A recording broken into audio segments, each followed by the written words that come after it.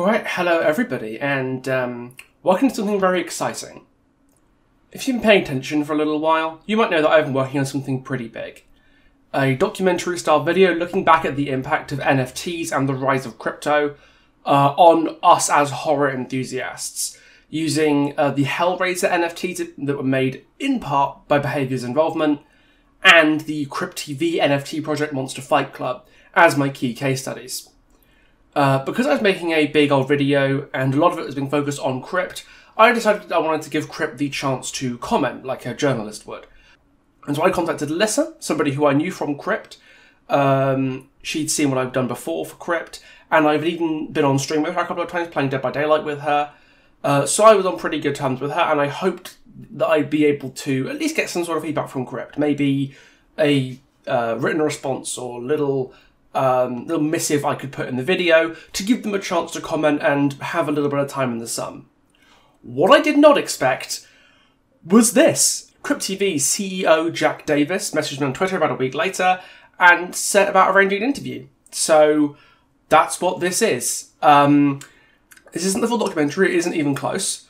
Uh, but I thought this would do with being released separately because I should imagine a lot of Crypt TV fans will want to uh, get some closure about what happened back in February in the Not NFT project.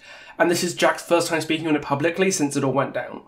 So I decided to put it separately so that if you're just interested in Crypt TV stuff, you can view the, this interview completely separately without having to deal with my preambles about NFT stuff and Hellraiser and all that sort of thing. You can just watch the Crypt TV stuff if you want to, and that's what's right here.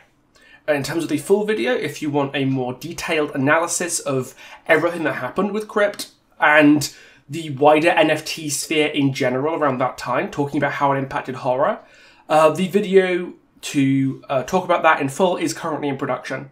So consider this a kind of teaser for what's coming. I do hope this interview is enlightening. Uh, it was certainly enlightening for me to have talked to Jack, and I'll say this from what I knew of the guy, this really wasn't what I expected.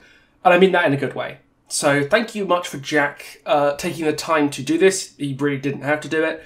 And I hope everybody who had some issues with the way that Crypt handled things back during the Monster Fight Club project launch uh, and has some questions, have them answered in this video.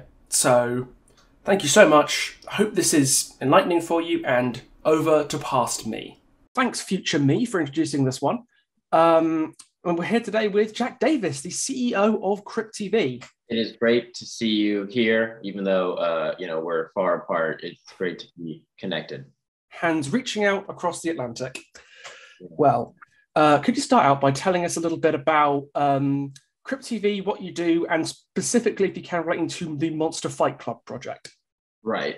So, Crypt TV was founded in 2015, and I always think that we didn't really find our footing until 2017 but Crypt was, you know, wants to be Marvel for monsters, right? We want to create IP on the internet uh, that can turn into great monster IP that can turn into TV or movies or video games or live events. So we started in 2015. In 2017, I feel like we started to get our footing. Some of the videos that are popular, like the Birch or the Looksee, came out in 2017. That's when we really started developing this idea of Marvel for monsters. Um, we grew YouTube and Facebook pretty steadily in 2017 and 18. Starting in 2018 or 19, we started to have some problems with YouTube, which I might eventually touch on in our chat.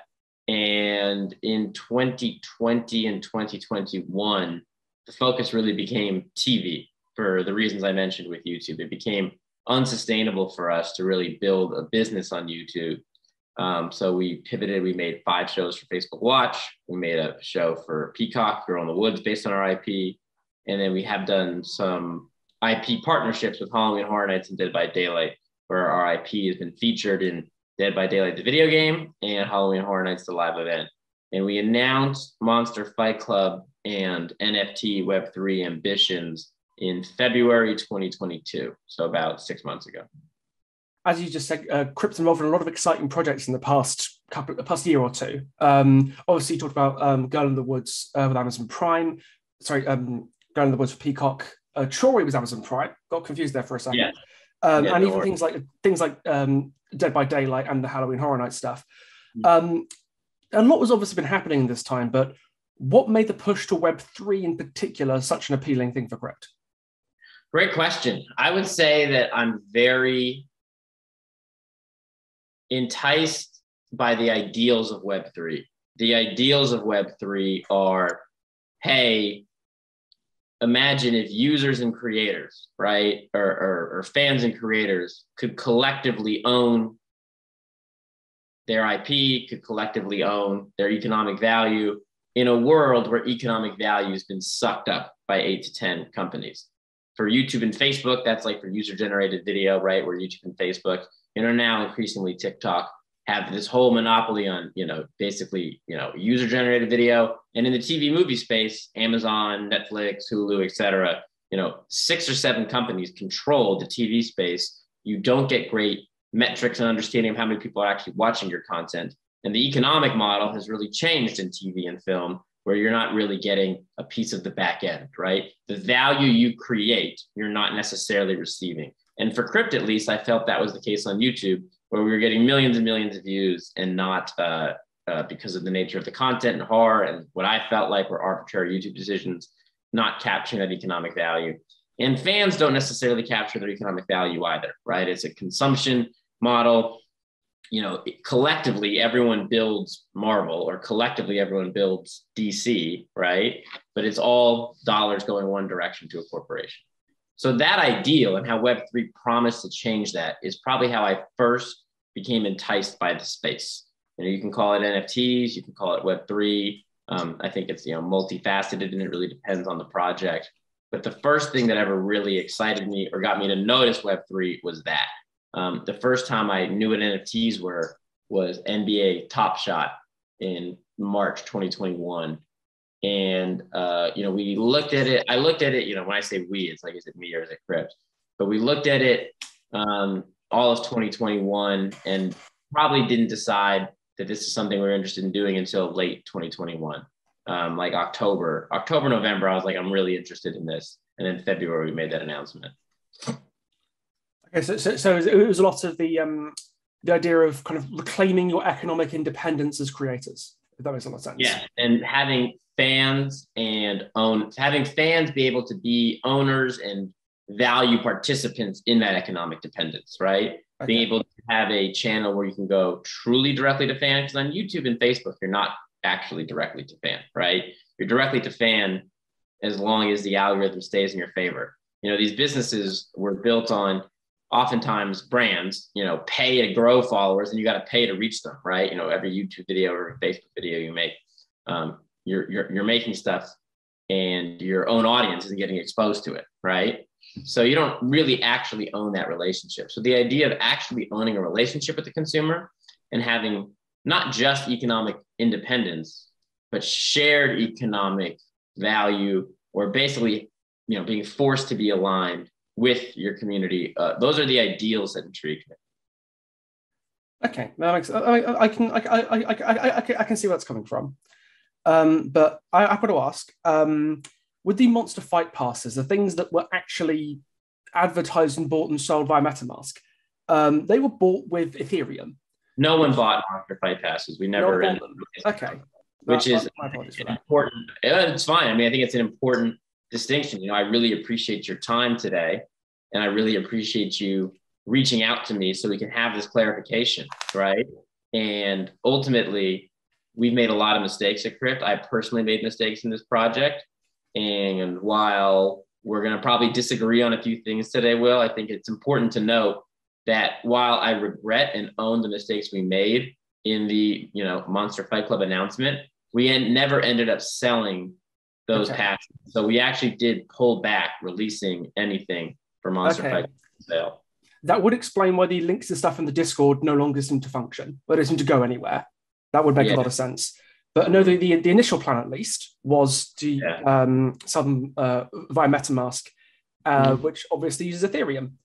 And um, Ethereum is fairly infamous um, uh, uh, for using a um, proof of work system uh, which is incredibly energy inefficient, mm-hmm. leading to a massive environmental footprint.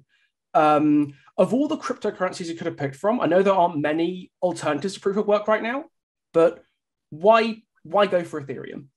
Well, Ethereum is merging to proof of stake. Two of the three tests to merge Ethereum and have it go to proof of stake um, are happening now instead of proof of work. So it'll be more energy efficient by the time we perhaps launch a project. But there's no doubt, and I'm not going to sit here and pretend that crypto energy usage isn't highly inefficient. The decision to go to Ethereum for what we would have done on Monster Fight Club and for whatever comes forward is based on how many users are there. You said, you know, there's not a lot of alternatives. We want to be where the people are.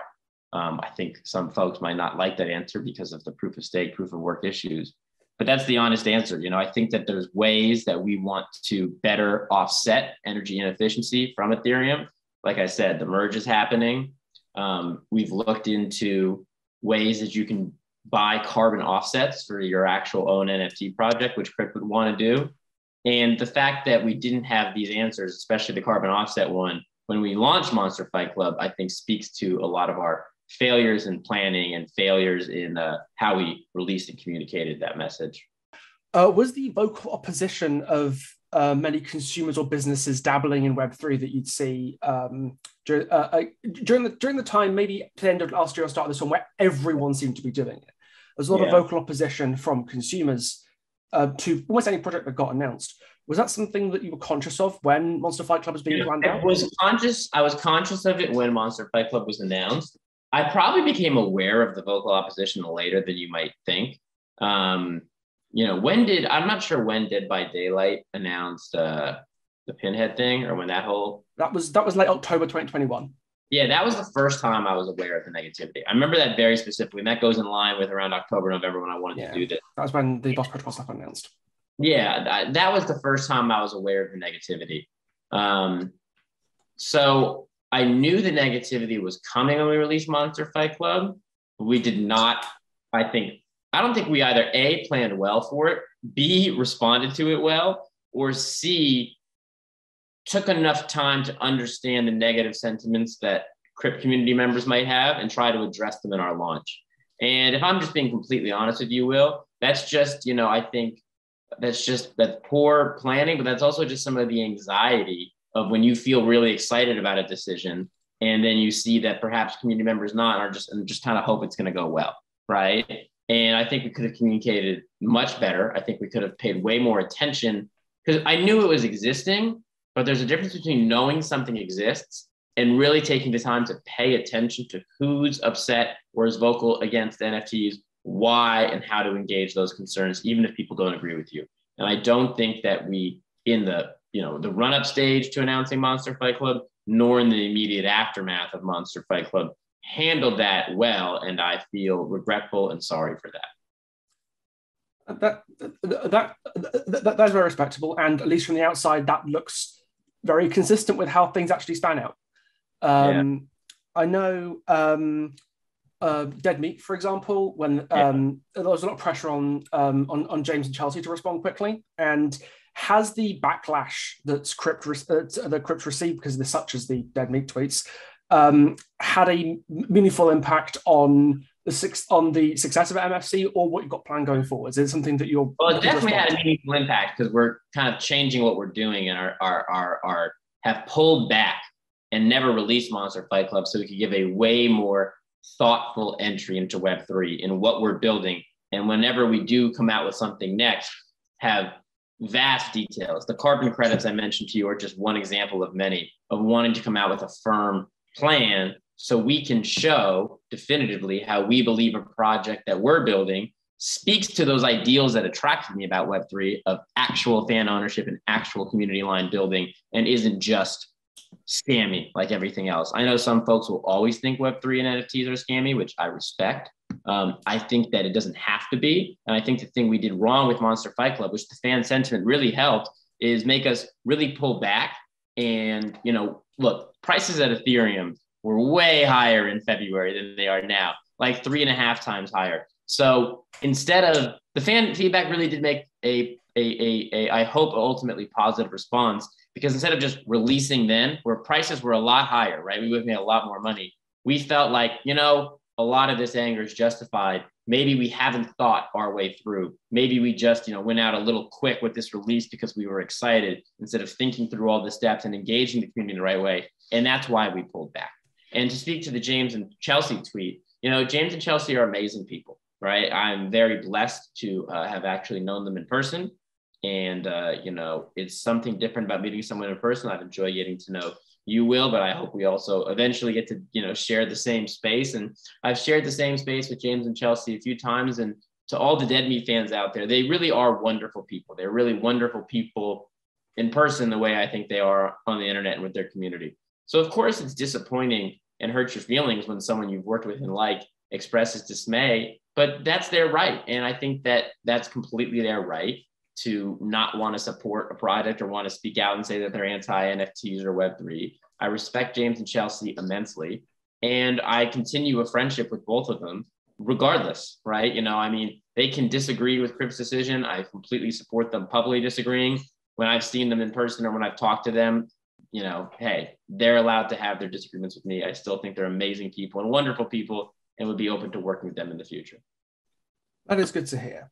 Um, on the on uh, uh on the topic of the future of MFC and Crypt, adventures in Web three, um, because everything seems to have effectively shut down. The link in the Discord no longer works. The link's taken off Twitter.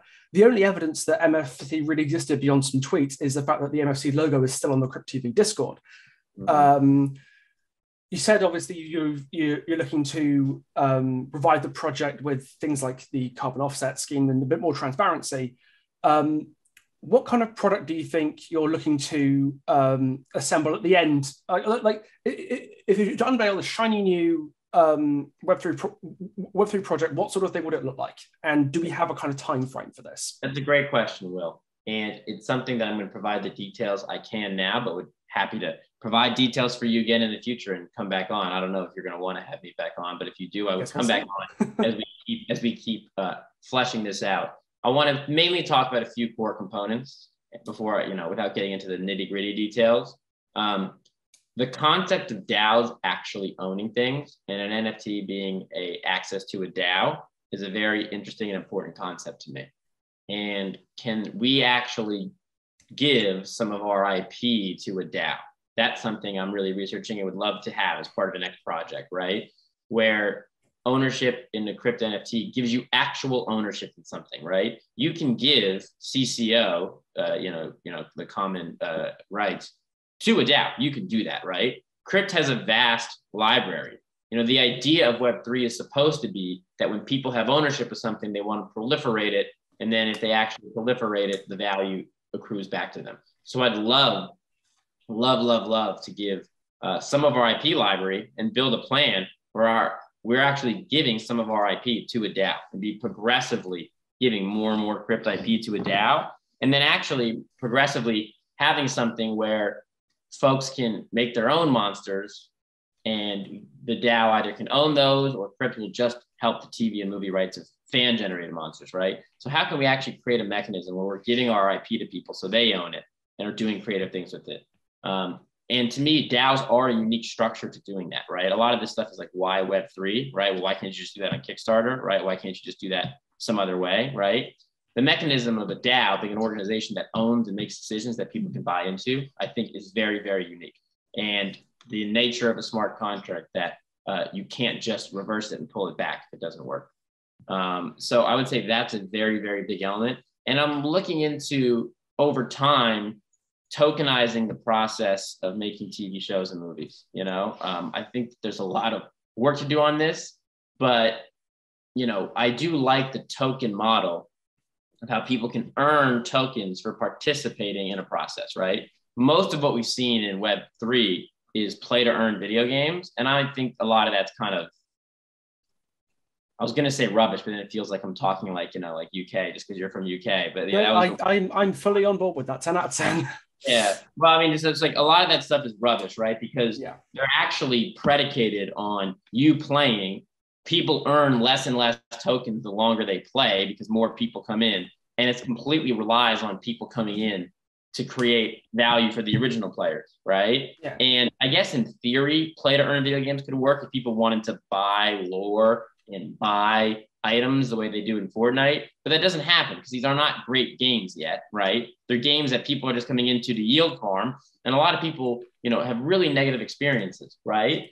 So, okay, what could you do with a token that doesn't just predicate on more and more people joining an ecosystem, right? Well, Crypt's made TV shows before. What if we let people earn tokens for free, right? Or for a very low cost? We're talking like the five, you know, like, you know, five, ten dollars by participating in the governance of a TV show, right? That's an interesting idea to me. You know, I got to fully flesh out some of these ideas. I'm probably oversharing now just because I like you and I'm enjoying our chat. But that's interesting to me. And the tokens, I would have to say, they'd have to be capped, right? You'd have to have a token model where the amount of tokens are capped. Because a lot of these projects uncap tokens as a way to always be pulling in money so they can always just create new currency so more and more people can play and earn the game, right? That is very scammy. We'd have to have something where the amount of tokens you get, the tokens in the system are capped you earn them by participating. And Crypt buys and burns our own token with potentially profits from making the show and selling it to Netflix, Hulu, Amazon, whatever. We're a long way away from doing this. And we need to build all this stuff before we release something. But if you're asking definitively, how am I actually thinking about a Web3 NFT model that gives people actual ownership that doesn't violate securities law, that speaks to things you can do on Web3. Well, I want to invite people to be part of the IP owners of the crypto universe. And I want to invite people to, particip- uh, to participate in the process of making TV, right? And the whole idea of Web3 is that we, content creator and users, align, build something. And the idea of why Web3 and DAOs is actually can share the revenue, but that revenue should come from a corporation, right? It should be sharing the revenue from Netflix buying the show or Amazon buying the show, right? The issue with these Web3 projects now is the revenue just comes from, well, someone else is going to buy this, right? And that seems very consumer harmful to me, oh, right? Oh, absolutely.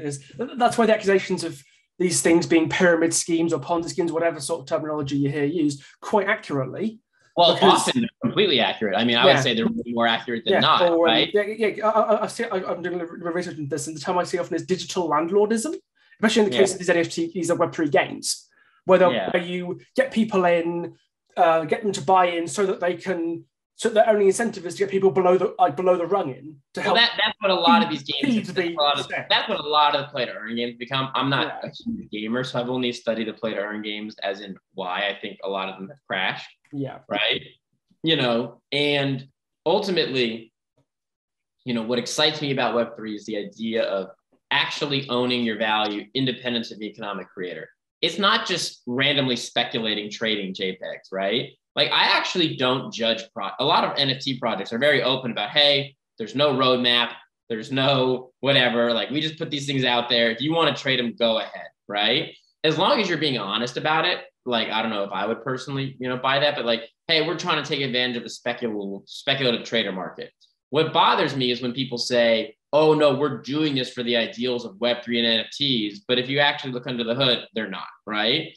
So I probably droned on a little bit there and probably overshared because sometimes I'm excited I do that, but I'm trying really hard to think about the ways that we can actually use our skill set of making TV around our IP of having sold it to streamers, of actually having an IP library, how can we use those skills to actually take advantage of the ideals that Web3 provides, right? Where people can actually have, again, very low entry point buy-in. Look at how much Ethereum's crashed. We didn't release this in February, right? Where people can earn tokens if we create a token model where they can earn the tokens for free, basically, right? And they get just rewarded for being a part of the governance. And we figure out a way to redeem that token value because we're making an actual product, a TV show, right? Long way to go, but I'm trying to figure these things out thoughtfully. And what I completely take ownership for, which you've alluded to in your questions, is when we released just like a press release and a little video in February, we hadn't thought through these questions nearly enough. And I take full personal ownership for that. And, uh, you know, I speak on behalf of Crypt when I do that. And I have a lot of regret for how we didn't have thoughts like this in February and how for um, we responded to uh, some negativity because yeah, well, uh, that's, that's excellent to hear. I'm sure a lot of my viewers will be in the same boat because a big thing I noticed from people from all strokes, not just in the Dabba community, where obviously I'm a bit more finger on the pulse, but from wider horror communities was it was communication problems. Like yeah. I, I know obviously mass blockings on Twitter don't mean a lot to a lot of people, but to the people who it happens to, or, or getting kicked from the Discord, yeah. um, for just not knowing what's going on and being quite skeptical. Yeah. It's it was I I think it was understandable. Let's put it that way.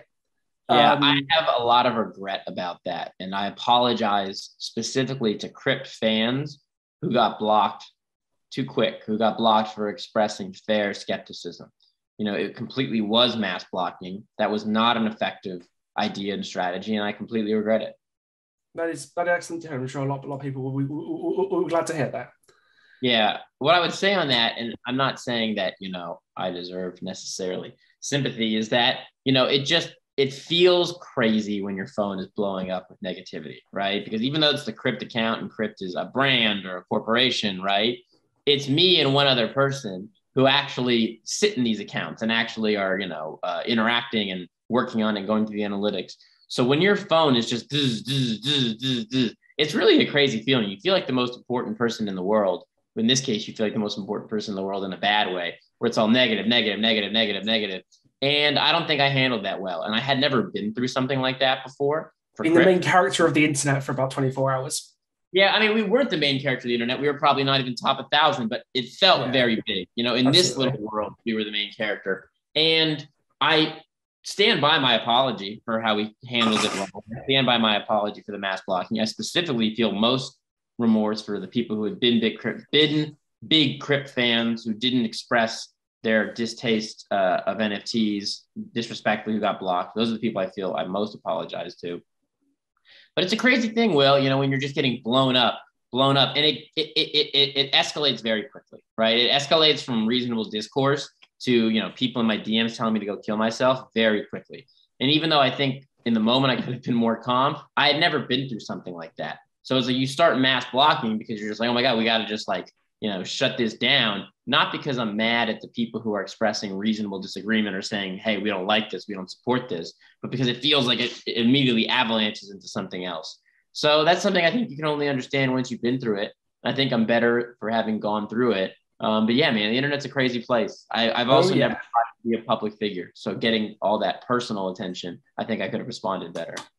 I, I, I, think I think I think I think that's, that's respectable and understandable. I think. Um, I know um, we're talking about uh, reasonable skepticism when this when this when it, when it all went down because obviously no one knew what the hell was going on, and you yourself I know have been are known for your skepticism with a lot of NFT projects that you, yeah. see. I, I, I, and I don't know if a lot of people will, will know about this, but half of your tweets are about um, you being unsure about or, or concerned about 99% of NFT. So the other half of my tweets are about being bald. Absolutely. So I, about that later. I, we'll do the I, NFTs. Yeah. Skepticism, but then bald. Yeah, I see the hat by the way. Very, uh, very elegant. I'm bald. I'm not trying to hide it. It's known that I'm bald. Let's talk about it. I just like these hats.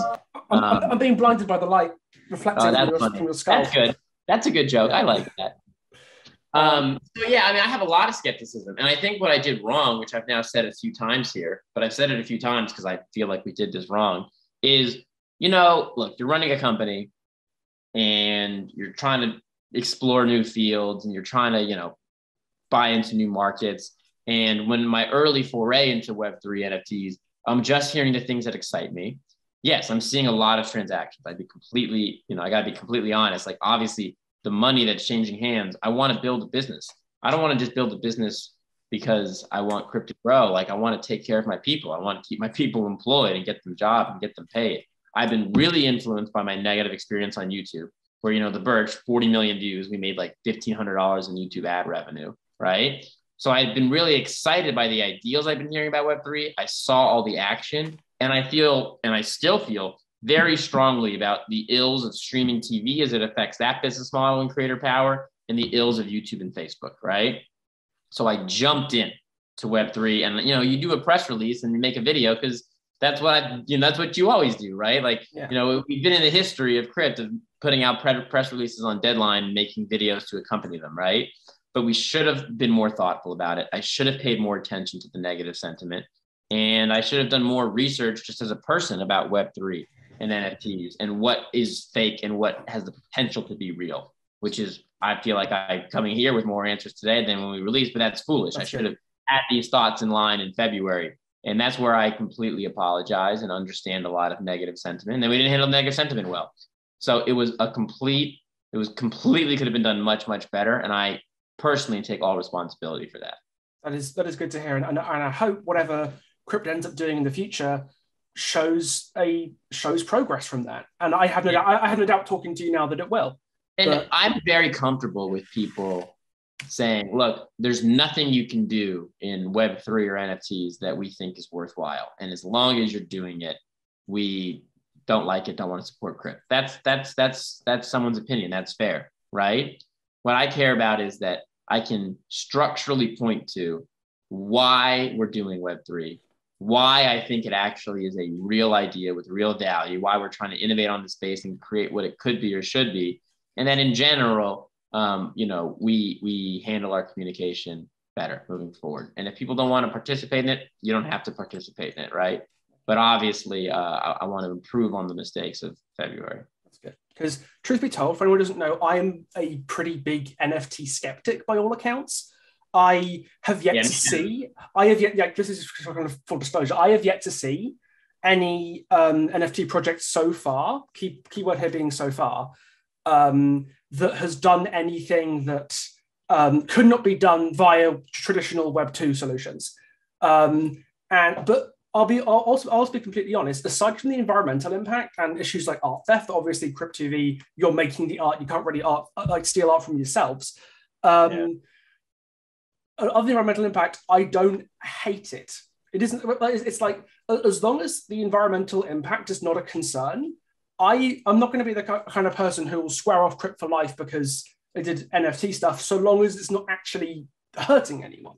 Yeah. But um, the reason I've been quite hesitant to support Crypt lately since February, and I'm going to be, and I know uh, I mean, it's with a lot of people, um, be worried about the environmental impact because using a steel foundry's worth of, uh, of electricity to distribute um, what a lot of people will just consider as JPEGs is mm. kind of a waste. I'm, I'm in a situation of I'll believe it when I see it. I think that's, like, that's a situation for a lot of people where there's been so many of these fraudulent um, or over-promising projects. There's, just, there's, there, there's so much reasonable doubt as to what could what could come of this, especially given the environmental impact, at least for now, is so steep. So, yeah. is there if you could if you could if you could say anything to people in my kind of position where are a bit hesitant about supporting crypto, especially um, mm. in the wake of um, sticking with proof with, with a for now proof of stake coin. What would you say to those people in my kind well, of? I position? respect anyone who wants to try to align the brands they support with bigger ideals. Obviously, I think the environmental stuff that we can fix as we, Ethereum moves off of proof of stake and as we buy carbon offsets. But if you're soured on crypto on this, I mean, I, I, I respect that. I, I wish you weren't, right? But I respect it. I don't believe in trying to tell consumers what to do, right? You have to make your value pitch. You have to market your value pitch. I think the best way to make or market anything is just to be intellectually honest and to try to build something of value. You know, we've made TV shows, right? The best way to pitch your TV show is to make something cool that has scenes that people want to watch or characters people want to buy in. people want to buy into. So my message to crypt fans is more my apologies at the ways I think we handled things wrong, my specificity on what we're building for the future, and how instead of releasing NFTs in February or March, when you know prices were sky high and NFT volume was much higher, we didn't just go for the easy money. We took a step back, and obviously prices are much lower now. Um, and I'm still here trying to figure out the actual intellectual solution because doing it right meant more to me. And maybe you think there is no way to do it right with NFTs, but doing it right meant more to me than doing it fast. And I am actually appreciative. Uh, I, I, don't love the, you know, some of the internet discourse or some of the uh, eloquence, the internet discourse, but I'm overall appreciative because we stepped back, even though prices have cratered. I'm, I'm I do not regret that at all because I needed to spend the time and Crypt needed to spend the time to learn about these things uh, versus just having released those passes. So I'm glad we stepped back. That is good to hear. At the very least, I'm I'm in I'm in the again. I'll believe it when I see it camp. Where mm-hmm. for now, again, I haven't seen anything that would that would Here's the best possible. I, but I will absolutely be paying attention. Put it that way. Here's the best company I've seen. Uh, I can't pronounce it right because I have a mouthful of marbles, but Arpeggi. It's a company that it allows musicians to upload their like you know their guitar solo or their instrumental to the blockchain and then other musicians can take those musicians samples and it automatically attributes what percentage of the song it is. So all NFT revenue or all revenue that's from those music goes back to those musicians, right?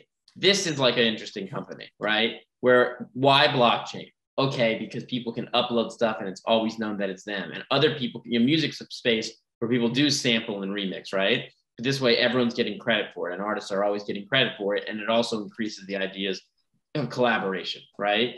So I completely share your skepticism at most projects I've seen.